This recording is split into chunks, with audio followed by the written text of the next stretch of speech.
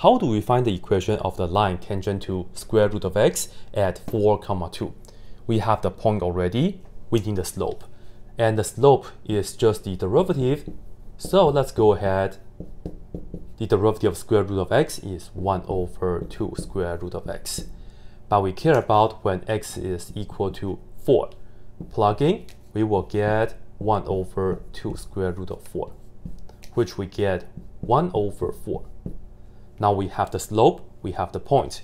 We can use y minus y1 equals m times x minus x1.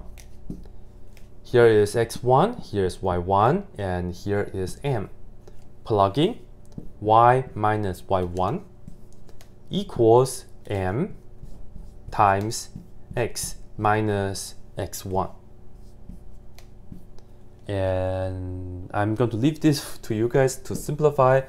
This is the equation in the point-slope form, nothing wrong with that. If you want the y-intercept form, well, go ahead, distribute and then move the 2 over. That's all.